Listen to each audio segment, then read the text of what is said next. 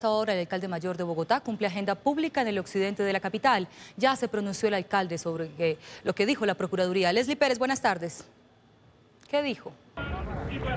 Así es, ¿qué tal? Muy buenas tardes. Hace pocos minutos el alcalde Enrique Peñalosa se pronunció frente a la solicitud hecha por la Procuraduría de suspender el cobro de valorización, donde con estos recursos se harían 16 obras de malla vial. Alcalde, cuénteme, usted ha dicho que va a apelar. ¿Es inequitativo este cobro que ustedes están haciendo según lo ha dicho el Ministerio Público?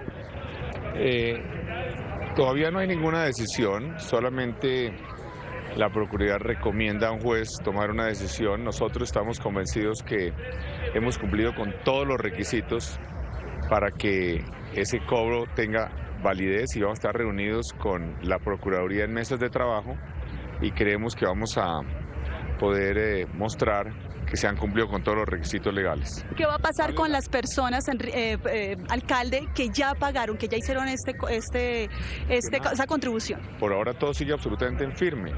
No ha cambiado nada en este momento.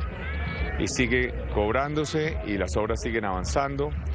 Eh, es importante señalar que la única manera como esta ciudad va a progresar es con cobros de valorización.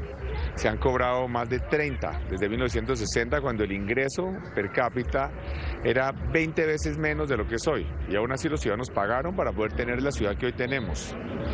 Eh, estas obras de casi un billón de pesos de valorización van a mejorar la vida y van a generar más de 20 mil empleos y van a mejorar la ciudad.